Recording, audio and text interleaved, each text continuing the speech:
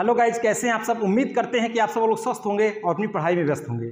तो गाइज़ आज हमारा जो टॉपिक है, वह है प्लांट किंगडम का जिम्नोस्पर्म तो आज हम जिम्नोस्पर्म के बारे में बात करने वाले हैं और आज अपने हम इस लेक्चर में आपको जो है एक हैंड रिटन नोट्स के साथ आज हम उपस्थित हैं।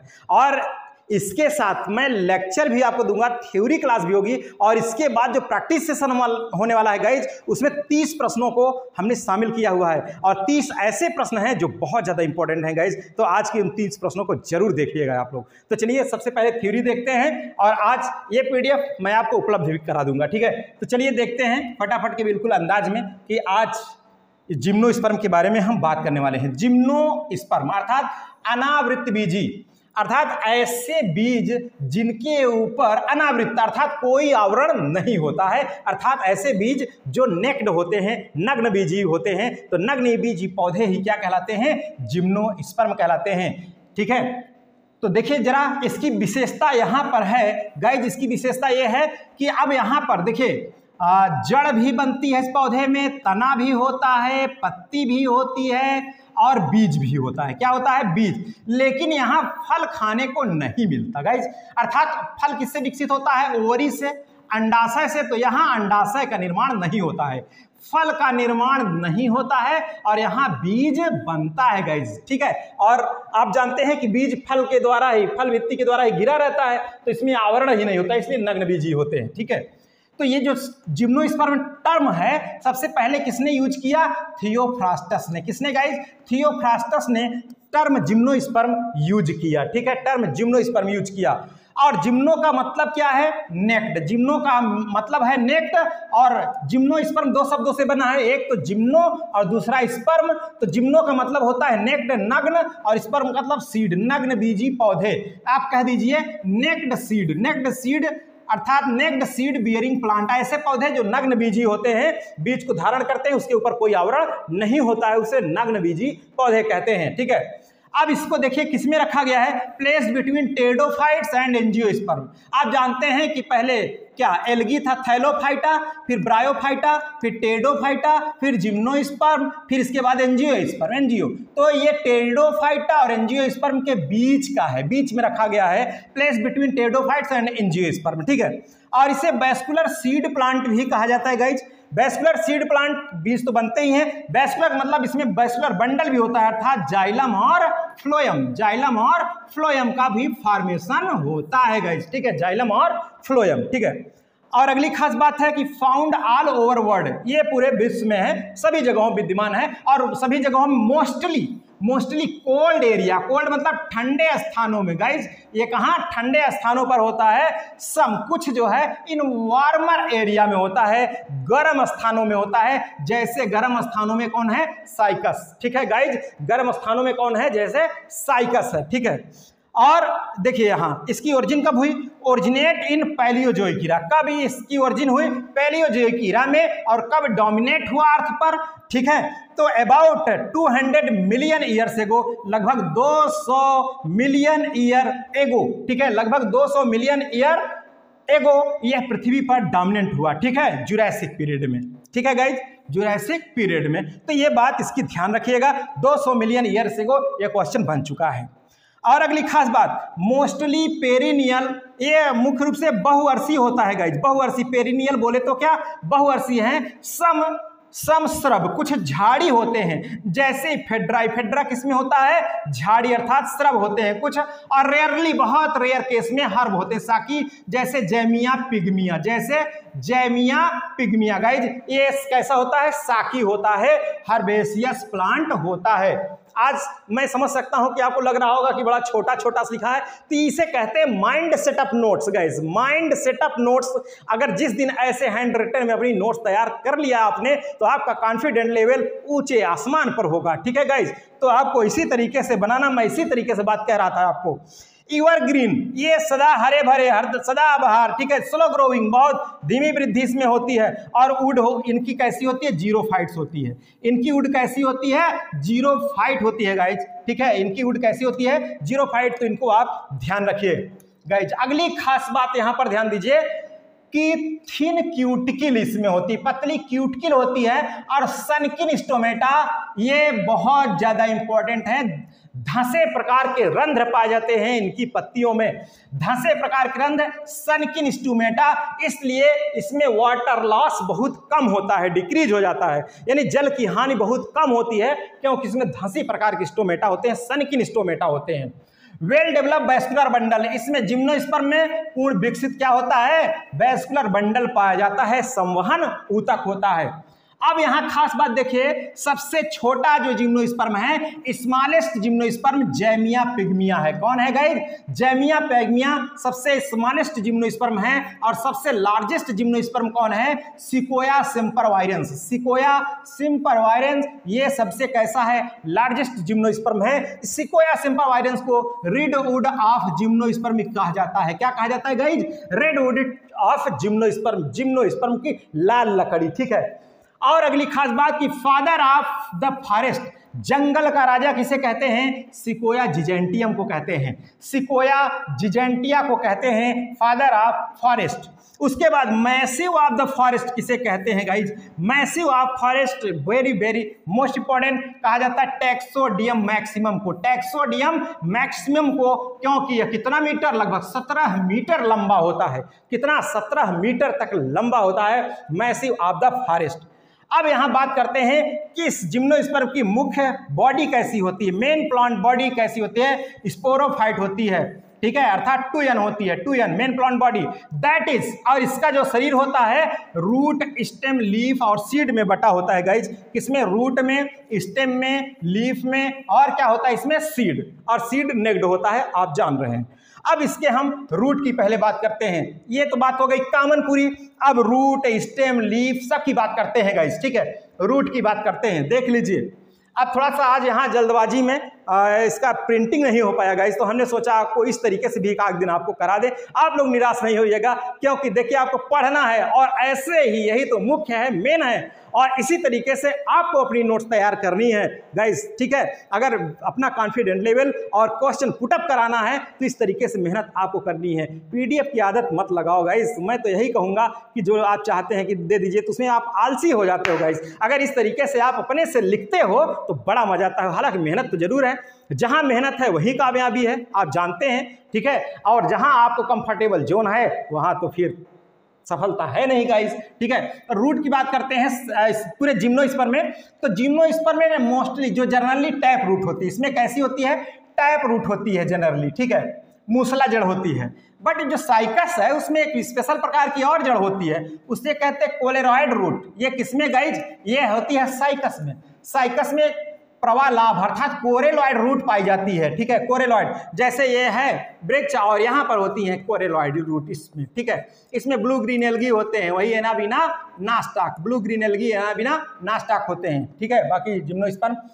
अब आपको बता दें कि जो कोलेरॉइड रूट होती है, इसकी विशेषता क्या है? हेल्प इन, नाइट्रोजन फिक्सेशन, ये नाइट्रोजन स्थिरीकरण में सहायता करती है। और किस कारण से?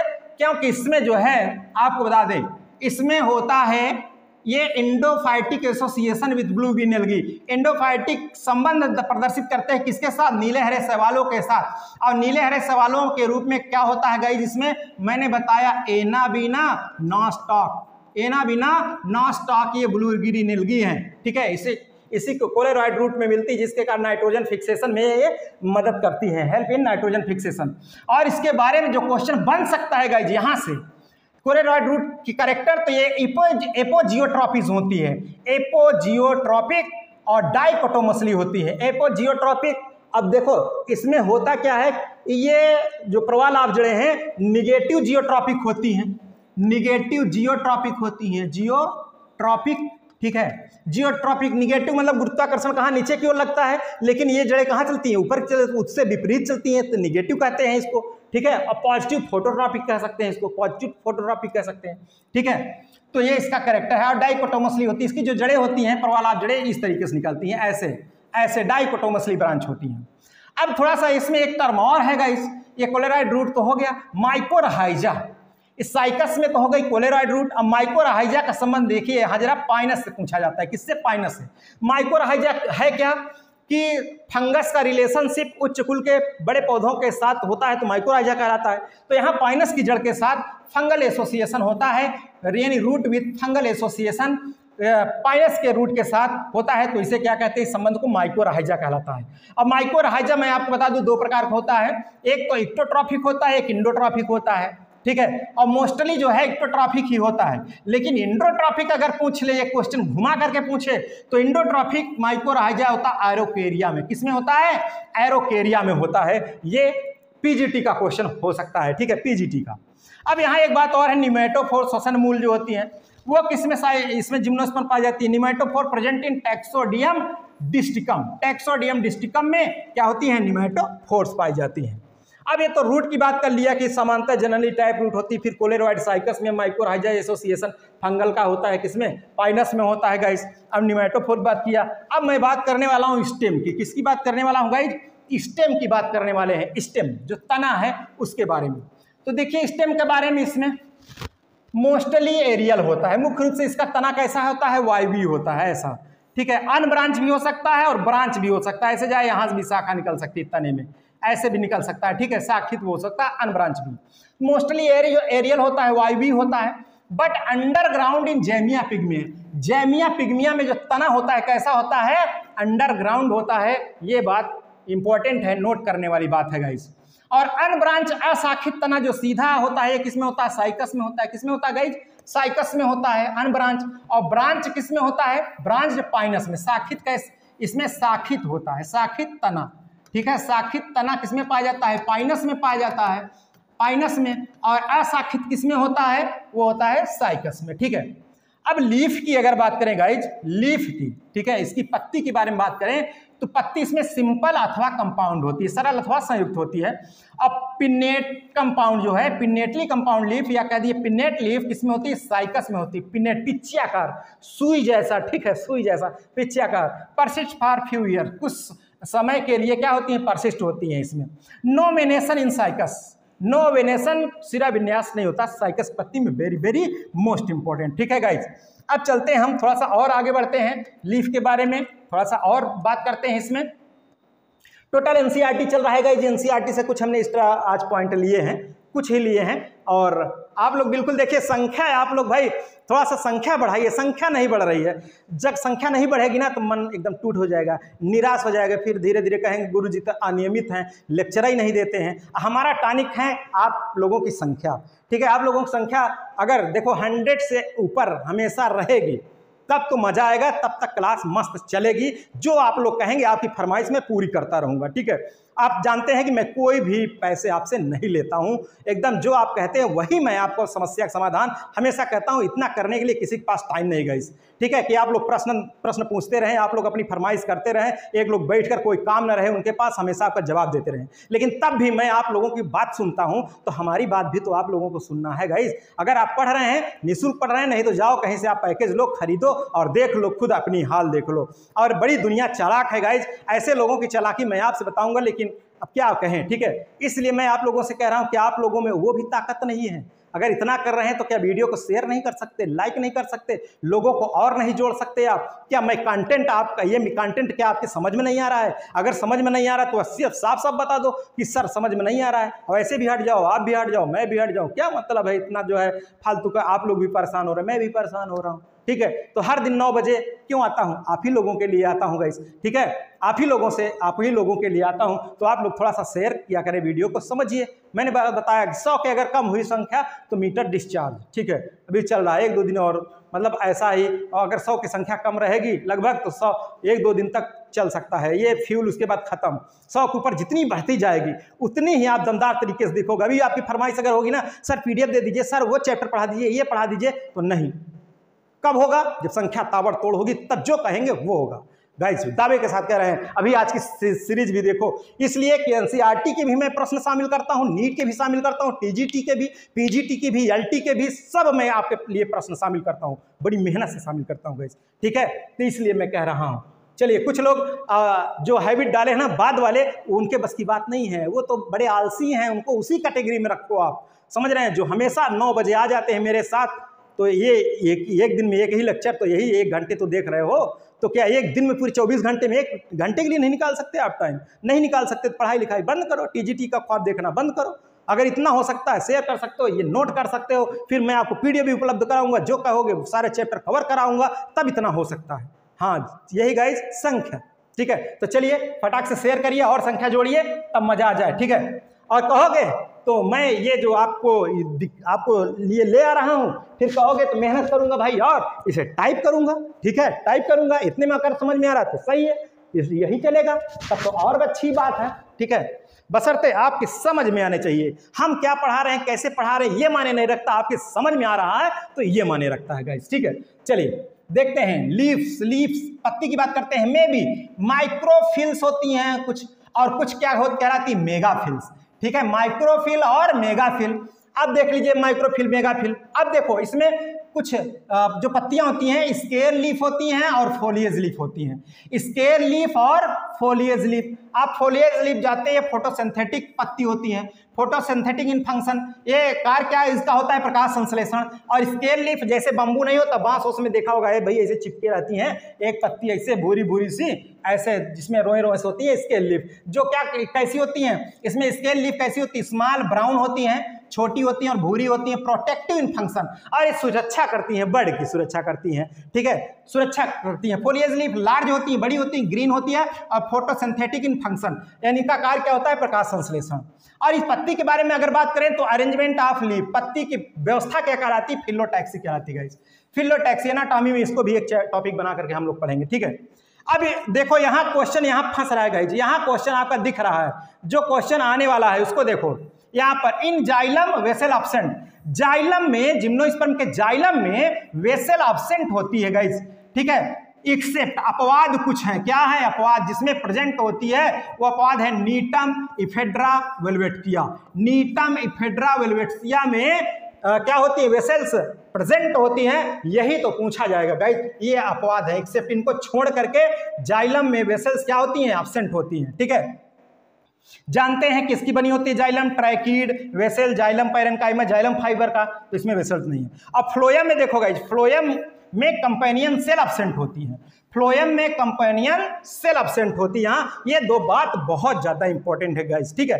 अब थोड़ा सा उड की बात करें, इनकी लकड़ी की बात करें उड चलिए देखते हैं, लकड़ी उड जिम्नोस्पर्म की उड जो होती है दो प्रकार की होती है। एक तो मैनोजाइलिक एक पिक्नोजाइलिक मैनोजाइलिक और पिक्नोजाइलिक दो प्रकार की उड़ होती है इसमें। मैनोजाइलिक और पिक्नोजाइलिक मैनोजाइलिक उड़ किसमें होती है? साइकस में। इसका करेक्टर यह है कि ये सॉफ्ट और पोरस होती है। ठीक है? सॉफ्ट होती है और पोरस होती है, छिद्रित होती है और सॉफ्ट मुलायम होती है। अब जो पिक्नोजाइलिक पिक्नोजाइलिक को एक नाम और देते हैं, मोनोजाइलिक। इसमें कभी कंफ्यूजन मत आना, मैनो, मोनो। पिक्नोजाइलिक अथवा मोनोजाइलिक, ये किसमें होती है गाइज़ ये होती है पाइनस में, ठीक है? पी से पाइनस पी से पिक्नोजाइलिक। पिक्नोजाइलिक पाइनस में होती है, ठीक है? मेनोजाइलिक साइकस में। ये पिक्नोजाइलिक क्या है? कंपैक्ट एंड हार्ड होती है। कैसी होती है? कंपैक्ट और हार्ड होती है पिक्नोजाइलिक उड ठीक है? तो ये साइड में है, इसकी विशेषता। अब बाकी जिम्नोस्पर्म हेट्रोस्पोरस होता है। हेट्रोस्पोरस का मतलब इसमें दो प्रकार के स्पोर होते हैं, दो प्रकार के, ठीक है? हेट्रोस्पोरस ठीक है, एक माइक्रोस्पोर और एक मेगा स्पोर माइक्रोस्पोर और मेगा स्पोर मेगा स्पोर जो है फीमेल गैमिट का निर्माण करता है। जो माइक्रोस्पोर होता है वो मेल गैमिट अर्थात पोलन ग्रेन्स बनाता है। तो देखिए जरा, ये heterosporous produce haploid microspore haploid microspore जो कैसा होता है स्मॉल होता है। कैसा होता है स्मॉल होता है। एंड लार्ज मेगा स्पोर यानी एक जो माइक्रोस्पोर होता है, छोटा, जो स्मॉल होता है, और एक बड़ा होता है लार्ज क्या कहलाता है? मेगा स्पोर कहलाता है। मेगा स्पोर लार्ज होता है माइक्रोस्पोर स्मॉल होता है। अब यहाँ कोन्स की बात करते हैं। यहाँ पर कोन की बात करते हैं गाइज़ कोन अब यहाँ कोन्स के बारे में आप समझो।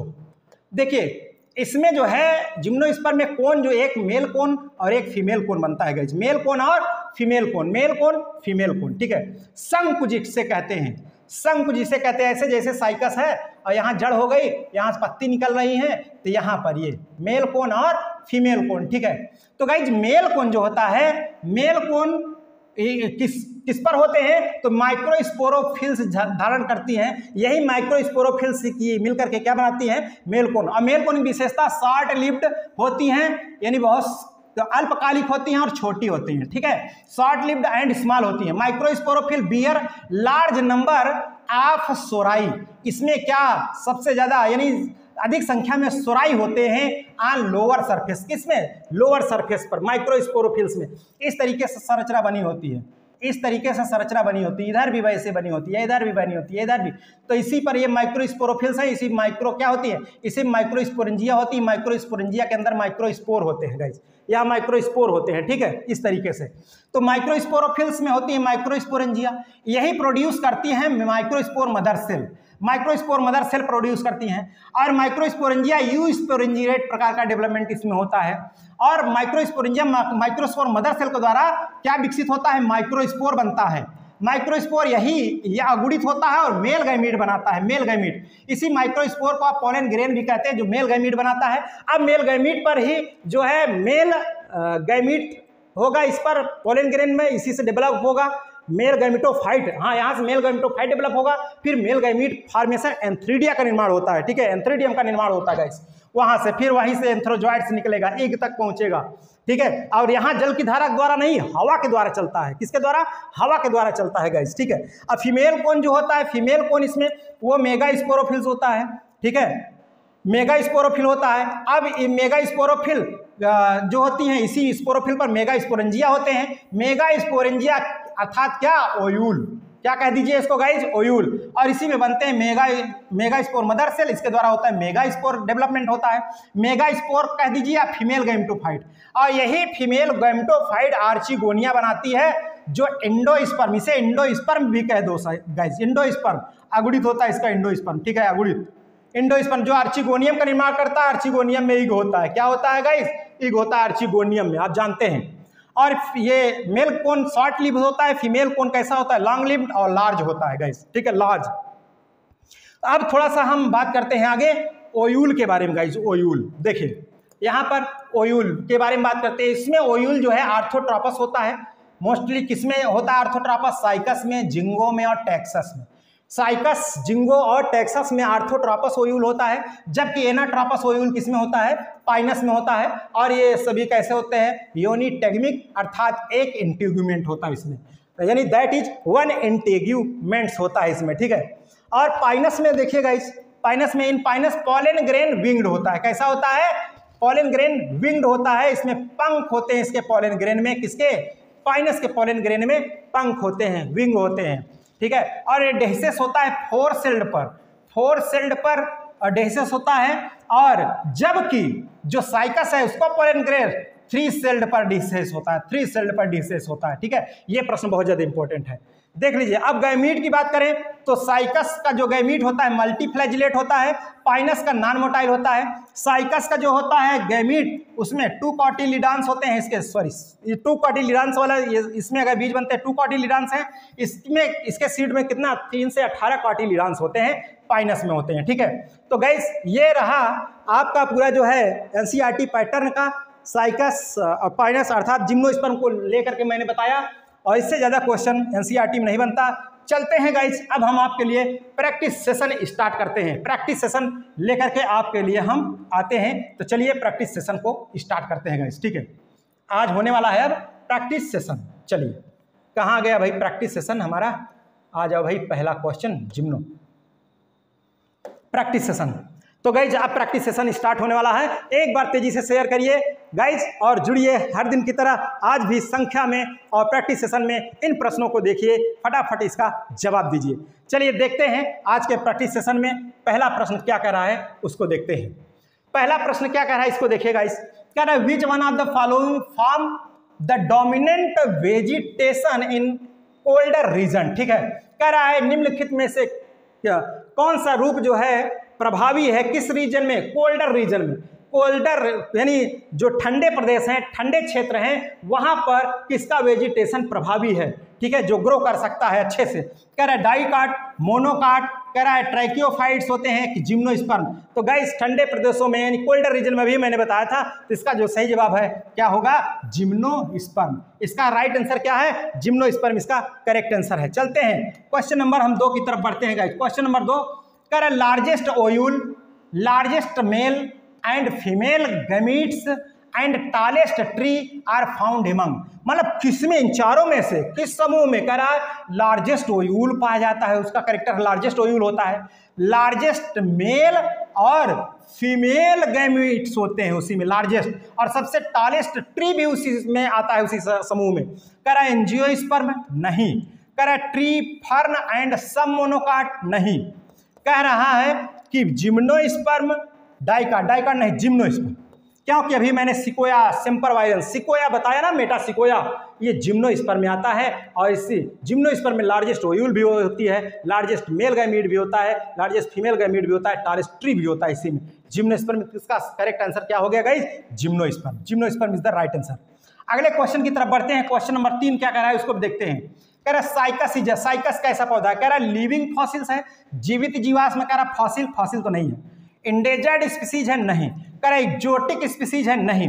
तो ये जीवित जीवास में है, ये साइकस, ठीक है? बहुत पूछा गया है साइकस कैसा है? जीवित जीवास में है, ठीक है? अगला हम चलते हैं क्वेश्चन नंबर चार पर चलते हैं कि क्वेश्चन नंबर चार क्या कह रहा है। कह रहे the cortex and pith of stem ठीक है? यानी तने का पीथ और कार्टेक्स यानी साइकस के तने का पीथ और cortex serve as a source of sago. यानी क्या? कह रहा है, सागो साग के रूप में यूज़ होता है वे चीज़, जिसमें क्या अधिकता होती है, किसकी अधिकता होती है? कह रहा है, प्रोटीन होती है, सेलोज होती है इसमें, कह रहा स्टार्च होता है कि mixture of starch and protein. तो इसका सही जवाब क्या है गाइज़ इसका सही जवाब है स्टार्च। स्टार्च इसका राइट आंसर है। फोर का कौन सा? तीन नंबर इसका सही जवाब है। चलते हैं हम पाँच नंबर में। ओ, स्लाइड गड़बड़, फिर से पाँच नहीं छः आ गया। चलो, कोई बात नहीं। छह नंबर का क्वेश्चन है कह रहा साइकस इज़। साइकस कैसा पौधा है भाई? कह रहा साइकस कैसा है? कह रहा हर्माफ्रोडाइट है कि नर, मादा, एक में होते हैं? नहीं। कह रहा डायोसियस है। कह रहा मोनोसियस मोनोसियस का मतलब कि एक पर ही होते हैं दोनों, यानी मेल और फीमेल, ऐसा नहीं। कह रहा नन ऑफ़ दिस, नहीं। डायोसियस यानी मेल अलग होता है और फीमेल अलग होता है। मेल और फीमेल दोनों क्या होते हैं? अलग। तो ये कैसा है? डायोसियस है गाइस कैसा है? डायोसियस इसका सही जवाब है। ठीक है? यानी साइकस इज़ अ डायोसियस चलते हैं। आगे चलते हैं कि अगला प्रश्न हमारा सात नंबर का क्या कह रहा है? उसको भी देखते हैं गाइस सात नंबर का। कह रहा organized female cone is absent in female cone किसमें एबसेंट होता है? संगठित फीमेल कौन किसमें एबसेंट होता है गाइस कह रहा है फेड्रा में। पाइनस में ननाब्दीज साइकस में। किसमें एबसेंट होता है? गाइज़ कमेंट करके बताइए। किसमें एबसेंट होता है? ऑर्गेनाइज्ड फीमेल कौन किसमें एबसेंट होता है? ठीक है? तो इसका सही जवाब क्या है? इसका सही जवाब है साइकस। साइकस में ऑर्गेनाइज्ड फीमेल कौन एबसेंट होता है? तो किसके द्वारा होता है भाई? वही स्ट्रोविडाइस ठीक है? वैसी संरचना होती है इसमें। तो चलते हैं। बलबिल्स। अगला क्वेश्चन क्या कर रहा है? आठ नंबर का। कर Cycas differs from Pteris Cycas Pteris में किस प्रकार भिन्न है? किसकी उपस्थिति के कारण भिन्न है? कर वेसल्स एंड ट्रैकिड्स कर मोटाइल स्पर्म्स कर पोलन ट्यूब साइकस में कर टेरिस में होता है क्या वेसल ट्रैकिड नहीं। ठीक है? कर मोटाइल स्पर्म मोटाइल स्पर्म हाँ उसमें तो होता है टेरिस में बट साइकस ये कंफ्यूजन वाले क्वेश्चन आर्चिगोनिया और पोलन पोलन ट्यूब सबसे करेक्ट आंसर है पोलन ट्यूब क्योंकि उसमें टेरिस में पोलन ट्यूब नहीं था भाई। पो, पोले उसमें टेरिस में पोलन ट्यूब नहीं था ठीक है? साइकस में पोलन ट्यूब बनने लगती है। तो इसका सही जवाब क्या है? तीन नंबर है। आठ का कौन सा? तीन नंबर क्वेश्चन नौ की तरफ़ चलते हैं गाइज़ नौ की तरफ़ नौ क्या कह रहा है उसको देखते हैं। कह रहा coralloid root help Cycas in Cycas में कोलेरॉइड रूट किसमें मदद करती है? साइकस में कोलेरॉइड रूट किसमें मदद करती है गाइज़ कह रहा है, कह रहा है एब्जॉर्प्शन ऑफ़ वाटर वाटर के अवशोषण में नहीं. कह रहा है फिक्सेशन में किसके स्थिरीकरण भाई? कह रहा है absorption and fixation of nitrogen जी, बिल्कुल. Absorption and fixation my nitrogen यही इसका सही जवाब है. नाइट्रोजन के स्थिरीकरण में उसके अवशोषण में, ठीक है? तो नाइन का क्या हो गया गाइज़ नाइन का सी हो गया. अब चलते हैं क्वेश्चन नंबर दस की तरफ़, बढ़ते हैं क्वेश्चन नंबर दस क्या कह रहा है? दस में कह रहा है coralloid root of Cycas a symbiotic blue green algae. Cycas के कोलेरॉइड जड़ में ब्लू ग्रीन एलगी होती है, दैट फॉर्म जो बनाती है, an algal zone algal zone का निर्माण करती है इन सच रूट्स। यानी जड़ों में दिस एल्गा इज़, उस एल्गा का क्या नाम है जिसकी उपस्थिति के कारण एल्गल जोन बनता है? ठीक है, कह रहा है अवलोसिरा कह रहा है कि एनाबिना, कह रहा है क्लोरेला, कह रहा लिटोरिया तो इसमें कौन सा है? ब्लू ग्रीन एलगी जो एल्गल जोन बनाता है तो होता है एनाबीना क्या होता है गाइस एनाबीना इसका सही जवाब है। Anabaena is the right answer अगला क्वेश्चन ग्यारह की तरफ़ बढ़ते हैं कि ग्यारह नंबर क्या कर रहा है? कह रहा है फ्लोएम ऑफ़ जिम्नोस्पर्म जिम्नोस्पर्म के phloem differ from angiosperm in यानी एनजियोस्पर्म और जिम्नोस्पर्म फ्लोएम में क्या अंतर है गाइस ठीक है?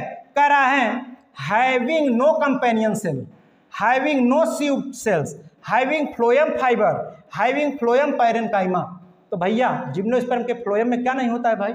Having no a companion cell इसमें कंपेनियन सेल अपसेंट होती है, अभी मैंने बताया था, ठीक है? तो इलेवेंथ का क्या हो गया? ए नंबर हो गया। इलेवेंथ का कौन सा? ए नंबर इसका सही जवाब है। चलते हैं ट्वेल्थ नंबर पर चलते हैं। ट्वेल्थ नंबर क्या करा है? उसको भी देखते हैं।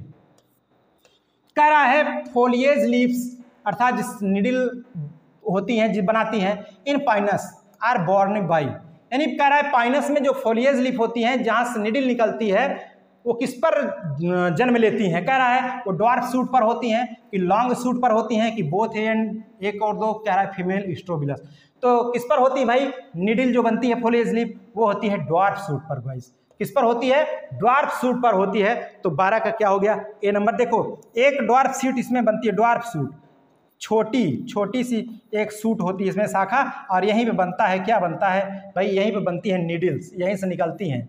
ये निकलती हैं इसमें नीडल ठीक है? ड्वार्फ सूट में। इसमें निकलती हैं ड्वार्फ सूट से निकलती हैं, ठीक है? चलते हैं क्वेश्चन नंबर हम तेरह की तरफ़ बढ़ते हैं। क्वेश्चन नंबर तेरह क्या कह रहा है?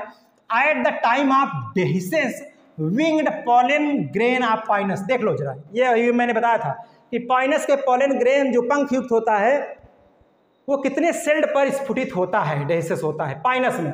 कह रहा one celled three celled two celled four celled तो इसका सही जवाब क्या है?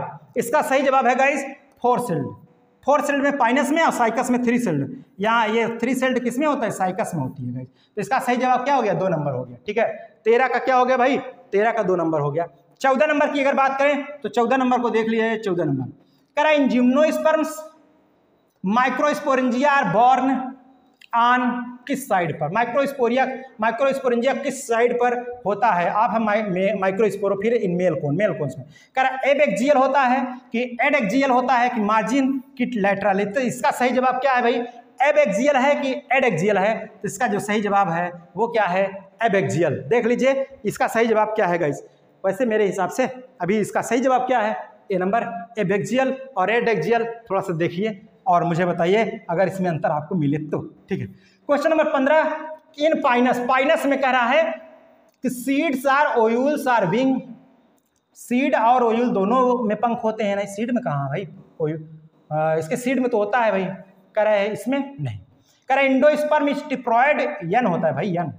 कह रहा fruits and flowers absent and seed are naked ठीक है fruit flowers are absent seed are naked ये भी समझ में आ रहा है। कह रहा है आल ऑफ़ द नहीं।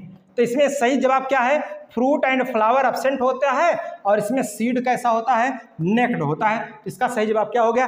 तीन नंबर। ठीक है, पंद्रह का तीन नंबर। चलते हैं सोलह नंबर पे गाइज़ सोलह नंबर क्वेश्चन क्या कर रहा है? उसको भी देखते हैं। कह रहा है chilgoza is fruit obtained from gymnosperm which is कह रहा चिलगोजा एक फल है जो जिम्नो स्पर्म से प्राप्त किया जाता है। किस जिम्नो स्पर्म से प्राप्त किया जाता है? कह रहा है पाइनस राक्स वर्घाई कह रहा है पाइनस जिराडियाना कह रहा है साइकस रिवोलोटा सजावटी पौधा है। कह रहा है एबीज बालसेमिया, जिससे वही कनाडा बालसन प्राप्त होता है, नहीं। तो इसका सही जवाब क्या है? पाइनस जिराडियाना इसके बीज को ही भून खाते हैं, जिसे कहते हैं चिलगोजा गई चिलगोजा। इसका क्या हो गया आंसर गई तो दो नंबर, चलते हैं सत्रह नंबर की तरफ़ कि सत्रह नंबर का क्वेश्चन क्या करा है, उसको भी देखते हैं सत्रह नंबर। कह रहा है vessels are absent in the xylem of किसके जाइलम में वेसल्स अबसेंट होती है? कह रहा है एंजियोस्पर्म में नहीं मोनोकाट नहीं जिम्नोस्पर्म एक्सक्लूडिव नीटल्स जी बिल्कुल, यही सही है। जिम्नोस्पर्म में वेसल्स क्या होती है एबसेंट होती है, तीन को छोड़कर। एक नीटम इफेड्रा और वेलेट्सिया नीटम इफेड्रा और वेलवेट्सिया में छोड़ करके जिम्नोस्पर्म में वेसल्स एबसेंट होती है जिम्नोस्पर्म के जाइलम में वेसल्स एबसेंट होती है इसका सही नंबर क्या हो गया? तीन नंबर। चलते हैं अट्ठारह नंबर की तरफ़ गई अट्ठारह नंबर क्या कह रहा है? उसको भी देखते हैं अट्ठारह नंबर। कह रहा है, in Cycas pollen grain shed at Saini Cycas में पोलन ग्रेन कितने सेल्ड स्टेज पर सेड होता है? कह रहा है टू सेल्ड स्टेज नहीं फोर सेल्ड थी तो पाइनस वाला है। फाइव सेल्ड नहीं, कह रहा थ्री सेल्ड तो बिल्कुल यही सही है। थ्री सेल्ड पर साइकस में पोलन ग्रेड क्या होता है? सेड होता है। अगला क्वेश्चन क्या कर है? उन्नीस नंबर का उसको भी देखते हैं। करा है needle in Pinus represent needle क्या पाइनस की निडिल पाइनस में निडिल क्या प्रदर्शित करती है? कह रहा रूट होती है नहीं फोलिएज लीफ होती है। है स्केल लीफ होती है किस पर होता है? तो बताइए इसमें कौन सी लीफ होती है भाई? अभी मैंने बताया जो निडिल होती है। तो उन्नीस उन्नीस का गाइस क्या हो गया? तो इसकी होती है कौन सी? आ, इसकी कौन सी लीफ होती है? फोलिएज लीफ होती है। क्या होती है? फोलिएज लीफ करेक्ट आंसर देख लीजिए। गाइज़ इसका सही जवाब क्या है भाई? फोलिएज लीफ उन्नीस का क्या है? उन्नीस का सी हो गया, ठीक है? उन्नीस का सी नंबर फोलिएज लीफ अभी मैंने आपको बताया था। चलिए, कहते हैं, अब यहाँ अगला बीस नंबर का क्वेश्चन भाई, बोलते बोलते थोड़ा सा दर्द करने लगा यहाँ पर पेट में, ठीक है? देखिए, कह रहा है which of the following is not correct match इसमें से कौन करेक्ट मैच नहीं है? कह रहा है मेडन हेयर फर्न ये तो एडियंटम होता है। कह रहा, बॉगमास, ये तो स्फेगनम सही है। ये सही है। कह रहा, कॉडमान ग्रीजमान फ्यूरेसिया, ये भी सही है। कह रहा, वॉकिंग फर एडियंटम, ये भी सही है। तो इसमें यही गलत है। यहाँ मैडन हेयर फर ना होता। अगर यहाँ मैडन हो, ट्री होता तो ये भी सही होता है। तो यहाँ यही गड़बड़ है। तो इसका सही जवाब क्या हो जाएगा? A number, guys. A number ये बहुत इंपॉर्टेंट हो गया, ठीक है? इसका सही जवाब क्या हो गया? ए नंबर, ठीक है? चलते हैं, इक्कीस नंबर का क्वेश्चन क्या करा है? उसको भी देखते हैं फटाफट के अंदाज में। कह रहे प्रवाह मूल, अर्थात कोलेराइड रूट निम्न में से किस पौधे में पाई जाती है? अब टीजीटी पीजीटी क्वेश्चन स्टार्ट हो गए। वो नीट के थे और एनसीईआरटी के थे।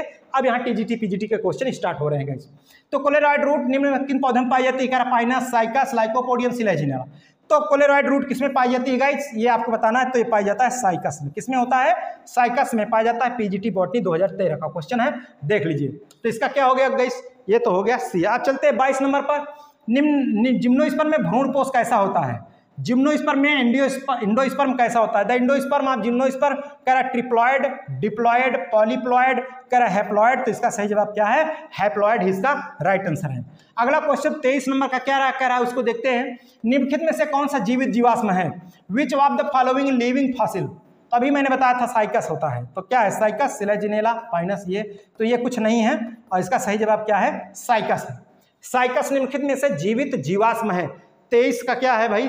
तेईस का ए हो गया। चलते हैं। क्वेश्चन नंबर चौबीस की बात करते हैं। क्वेश्चन नंबर चौबीस क्या कह रहा है? उसको देखते हैं। पाइनस में परागकण किस अवस्था में स्फूर्तित होते हैं? फिर से आ गया भाई रिपीट हो गया, क्योंकि ये टीजीटी बायोलॉजी 2021 अभी इसी वर्ष जो परीक्षा हुई थी, उसी में पूछा था, ठीक है?